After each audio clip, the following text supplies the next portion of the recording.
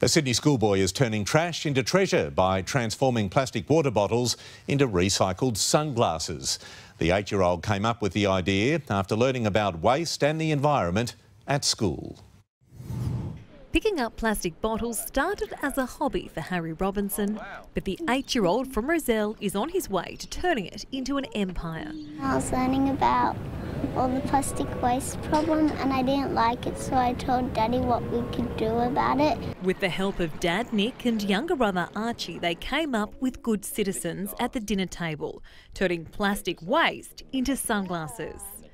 I remember it. We had spaghetti bolognese. We sat down, we got a piece of paper, and we wrote the business plan. We kind of researched it and realised that no one's really doing it, and, and we were kind of blown away. Each pair is made from one single use plastic bottle. The frame, arms, even the hinge is made from 100% recycled plastic. Only the lenses are new.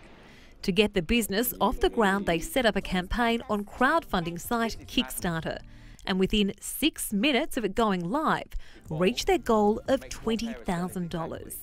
This is just a prototype, but the real thing goes into production here in Sydney in six weeks' time. They've already sold nearly 700 pairs worldwide, with the first deliveries coming in September. High five! Good Citizens has also teamed up with a non government organisation committed to pulling 45 plastic bottles from the ocean for every pair of sunnies sold. It's about building a community of people that kind of share a common goal to untrash the planet. It feels good to be helping it and making a difference. Kate Creedon, 9 News.